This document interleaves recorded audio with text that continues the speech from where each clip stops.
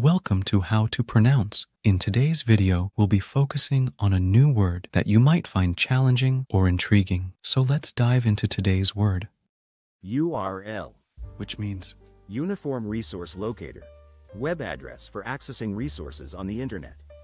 let's say it all together. URL URL URL One more time. URL URL URL Thank you for joining us on this adventure in pronunciation. Remember, language is a journey, not a destination. Keep exploring, experimenting, and expanding your linguistic horizons. We'll see you next time.